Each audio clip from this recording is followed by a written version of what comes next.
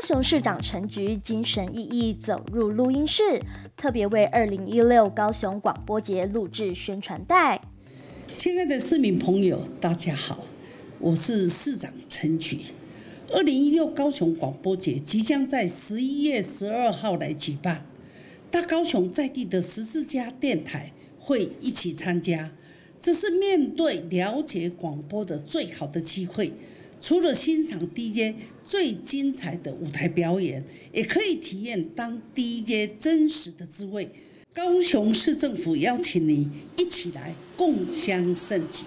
高雄市政府新闻局首度举办广播节，陈局亲自力挺宣传，除了展现对于广播的高度喜爱与重视，也邀请市民朋友一起来了解广播的独特魅力。广播呢，有它一段辉煌的时代。那虽然现在电子跟网络媒体兴起以后，好像广播的听众哈没有过去的那么的呃主流，但是仍然呢有一群非常始终的听迷，也是呢我们我们传播文化中不可或缺的一个部分。所以，我们今年呢特地我们高雄市政府新闻局啊以及我们的高雄广播电台特地来举办我们第一届的高雄广播节。啊，希望这样之后能形成一个传统，啊，让广播呢能够再受到我们听众的重视，取得它的一个新生，然后同时呢，也是带领我们大家市民穿过时光隧道，看见过去广播美好的岁月。高雄市政府新闻局希望让民众有机会面对面遇见广播，这次邀集了高雄十四家在地广播电台参与。将在十一月十二号与捷运中央公园站一号出口的圆形喷水广场举办广播节活动，内容包括网络票选、各电台摊位参展、透明广播秀以及广播明日之星选拔等，结合舞台与广播节目，让广播立体化，也让广播不只可以听，更可以看。而在活动登场之前，还有暖身讲座，让民众抢先体验。那我们今天的广播名人系列的讲座，也就是我们整个高雄广播节的活动一个起步的开始。今天呢，我们非常高兴能够邀请到我们的郭强生老师，新竹的 IC 之音的广播节目，他开了他开了一个节目，就是我们的文学居酒屋，就跟我们今天活动的题目一样。我觉得这是一个非常有质感的一个广播节目。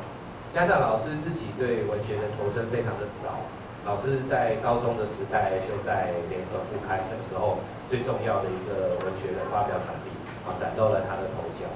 那在对文学的一个深刻的了解跟参与，啊，再加上说老师的在广播节目中娓娓道来，这样的广播节目就能提升我们整个城市的质感。我相信这也是我们未来我们高雄广播电台以及整个高雄的广播界都要努力的方向。选在高雄文学馆举办两场广播名人讲座，首场由集评论家、学者、剧场编导、作家多重角色于一身的郭强生教授打头阵。节目在第一年就入围广播金钟奖，今年也再次获得肯定入围。分享的是他将文学融入广播的经验。当我面对一个完全全新的广播的时候，我也跟所有的新人一样，把自己打掉，把自己从下功夫，然后重来。我觉得这个故事，其实在让这个四十岁以后进入呃广播界的我来说，我觉得这也是一个很好的一个生命的经验。我觉得大家可以分享，四十岁开始，只要你愿意，呃，不要怕说啊，呃，做不好，就努力说我要做好。第二场主讲的广播名人马世芳，在广播金钟奖镀金，则是带领民众回顾并剖析台湾流行音乐的发展脉络以及蜕变。广播仍然有它不可取代的特色，包括它是一个，我觉得它最能够陪伴你在一个人的情境之下，让你真的专心的听进去一些，呃，对你的人生可能产生影响的讯息。不管是听到一首歌，或者听到一段访问，或者听到主持人说的一段故事啊，我觉得广播是特别适合这种一对一的感觉，而真的可以让你很专心的、深入的去理解一些东西。作为一个播音员，我自己这么多年做广播，呃，我始终觉得能够通过电波，只靠听觉，跟我的听众沟通，跟他们分享我很珍惜的故事、很喜欢的音乐作品。我觉得这个是人世间最幸福的事情啊。讲座场场座无虚席，亲眼见到广播名人，粉丝也相当兴奋，在交流问答时间踊跃发言，收获满满。不仅丰富了广播的多元性，也拉近了广播与听众间的距离。是否期待透过广播节的举办，能带领民众找回对广播的热情，重温聆听的美好？